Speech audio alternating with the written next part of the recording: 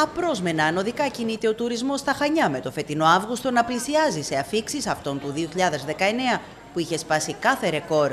Ειδικά το πρώτο δεκαπενθήμερο, οι πληρότητες στις περισσότερες ξενοδοχειακές μονάδες και τα καταλήμματα ήταν στο 100%.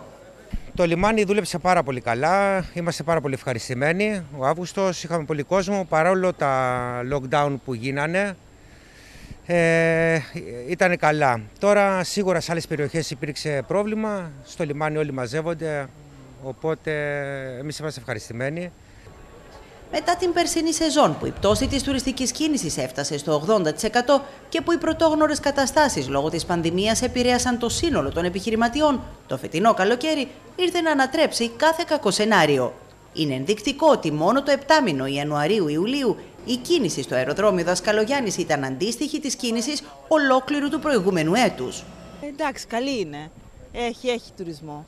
Σε σχέση με πέρσι, που ήταν μια κακή χρονιά; Ναι, όχι, φέτος έχει πιο πολύ από πέρυσι. Καλή τη βλέπω. Στο παλιό λιμάνι οι αμαξάδες δεν κρύβουν πως η τουριστική σεζόν εξελίσσεται μέχρι στιγμής εξαιρετικά καλά. Δόξα τω Θεώ καλά πήγε για φέτο ο Αύγουστος. Τώρα έχει αρχίσει η κοιλιά όμως η πολύ δυνατή. Θα δείξει το πρώτο δεκαήμερο του Σεπτέμβρη παιδιά. Καλά πήγαμε, δόξα τω Θεώ. Ήρθε πολλοί κόσμος, μας ετοίμησε με την παρουσία του. Πολύ καλύτερα από πέρσι. Ε, ο κόσμος βέβαια είναι επιφυλακτικός με τα μέτρα και όλα αυτά, αλλά εντάξει, δόξα τω Θεώ είναι πολύ καλύτερα από πέρσι.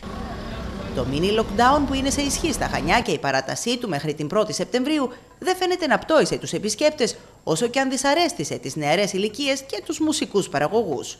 Η νεολαία υπάρχει πρόβλημα που στα κέντρα διασκέδασης, τα μπαράκια, τα beach bar με τις μουσικές, εκεί υπάρχει το πολύ μεγάλο πρόβλημα. Όσο να είναι, ο άνθρωπος εντάξει, θα έρθει να κάτσει να φάει, να πιει ένα καφέ. Σιγά σιγά ο καθένας να αναλογιστεί την ατομική του ευθύνη και να συμμορφωθεί όλοι Πρέπει να συμμορφωθούμε και να λήξει αυτό το mini lockdown άμεσα.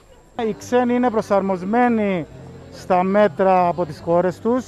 Οι περισσότεροι που ρωτάμε έχουν κάνει εμβόλια και έχουν κάνει rapid για να έρθουν γιατί έχουν πολύ αυστηρούς ελέγχους στις χώρες τους. Ο Αύγουστος κινήθηκε κοντά στα επίπεδα του 2019 όχι μόνο για την πόλη των Χανίων, αλλά και για άλλες τουριστικές περιοχές όπως η Παλαιόχώρα, που πλημμύρισε από Έλληνες και ξένους επισκέπτες. Σε Ελαφωνήσι, Μπάλο και Φαλάσαρνα, που αποτελούν τρεις από τους δημοφιλέστερους προορισμούς της Κρήτης, παρατηρήθηκε το αδιαχώρητο τις προηγούμενες ημέρες.